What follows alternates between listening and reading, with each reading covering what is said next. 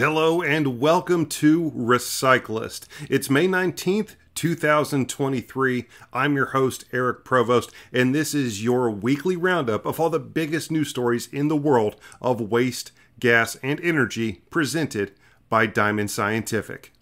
First up today, huge news about the growth of renewable natural gas as Platts has announced the launch of two new first in type daily Platts North American renewable natural gas price assessments with the aim of bringing price transparency to this emerging market. Platts part of S&P Global Commodity Insights, is the leading independent provider of information, analysis, data, and benchmark pricing for commodities, energy, and energy transition markets. Production of U.S. renewable natural gas has grown steadily since its inclusion in the federal renewable fuel standard, and interest in RNG will continue to expand as companies seek to reduce their carbon footprint. According to S&P Global Commodity Insights planning scenario forecast, forecasts, renewable natural gas supply will grow threefold to 2030 and as much as fivefold according to its more ambitious fast transition outlook to 2050. California is the first state in the U.S. to adopt a renewable gas standard and is a key consumer of renewable natural gas. Thus, Platts has announced two RNG price assessments one that reflects California transport fuel market incentives when the transacted gas is consumed within California, and another that reflects RNG supply to consumers outside of California and thus does not include those additional state level incentives. Staying in California, the city of Roseville just launched a brand new initiative to power its city vehicles. They're using wastewater and turning it into fuel. The so called Energy Recovery Project has been in planning since 2016 and will be taking wastewater, converting it into methane, and putting it into a form that can fuel their waste collection fleet. Assistant Utility Director for the city, Devin Whittington, said, quote, It's a direct substitute for diesel or gas. We convert it to what they call a diesel gallon equivalent, and the plan will be to produce up to 1,000 gallons per day. It gives us long term sustainability so we can forecast prices for the next 20 years. End quote. Currently, it's half the cost of diesel, so it will not only save the city money, but also the environment. Right now, the city of Roseville has about 14 renewable gas powered trucks, but under this new program, plans to more than triple that by adding an additional 33. Traveling to the other end of the country now, the Maine Department of Environmental Protection is currently seeking public input as part of a review of the state's solid waste and recycling plan. In January 2024, the Maine DEP will release the most recent revision of the Maine Solid Waste Management and Recycling Plan. This statewide plan is carried out every five years. The most recent was released in 2019. The department is seeking public input for updating the waste plan and will be hosting a series of five regional stakeholder meetings as part of that stakeholder process. These meetings will be accessible either in person or remotely, ensuring all interested parties are able to participate. The department views this plan as an opportunity for open discussion and to solicit comments from residents, businesses, municipalities, and other stakeholders throughout the state about current efforts to support the state's solid waste management hierarchy. Plan discussion will focus on strategies and actions for the department and solid waste management entities to make progress toward Maine's statewide recycling, composting, and waste reduction goals. Waste Plan meetings will take place from late June to early August of 2023 at University of Maine and University of Southern Maine campuses.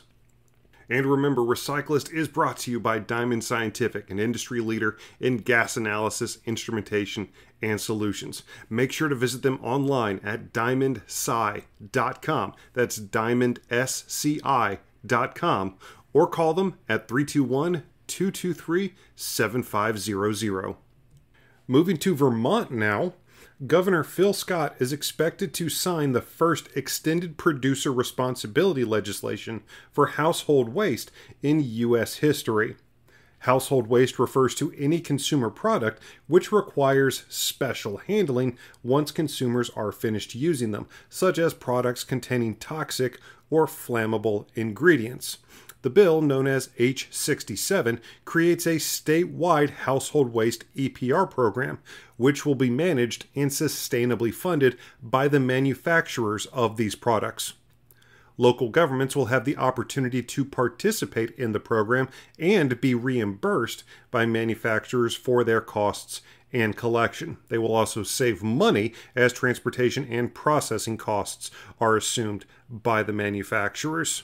Such programs have operated successfully in Canada since the 90s and, in the past few years, expanded to provinces based on that success. In Manitoba, collection volumes increased fourfold in the first five years of the program, and in British Columbia, more than 131,000 gallons of household waste were collected in 2017.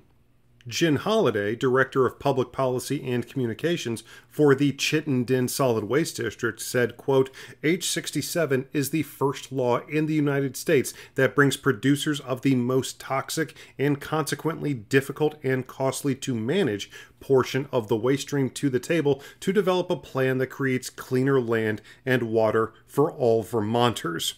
In addition, producers will now be incentivized to develop less toxic household products. End quote.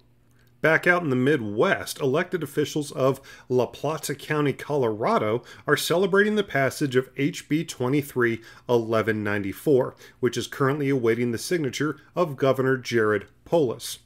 The legislation establishes a fund from which the Colorado Department of Public Health and Environment will administer grants to local governments to assist in the environmental remediation for closed landfills. For years, La Plata County has clashed with state legislatures over the landfill, which it purchased in 1970. The facility ceased accepting waste in 1994 and was closed in compliance with state regulations at the time. But in the mid 2000s, groundwater monitoring detected elevated levels of vinyl chloride, a toxic compound ubiquitous to household items. The chemical's name splashed across newspapers in February when a train carrying the gas derailed in East Palestine, Ohio, raising concerns about environmental contamination. The La Plata landfill occupies about 15 acres, totaling an estimated 100,000 cubic yards of municipal waste. And lastly, Washington State Governor Jay Inslee signed a new law that will provide battery recycling across the state under a new producer responsibility program. The bill begins the program by recycling small portable primary and rechargeable batteries first, starting January 1st, 2027. Then, beginning January 1st, 2029, medium format batteries will be included in the recycling program.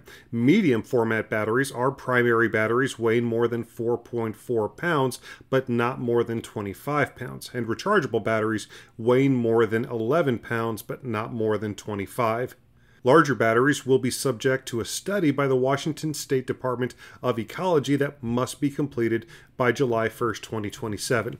Washington becomes the 10th jurisdiction to adopt a program stewardship program for batteries and is the most comprehensive. Most of the older laws only cover limited chemistries of batteries. In the last two years, DC and California passed similar laws but are limited to regulating smaller portable batteries.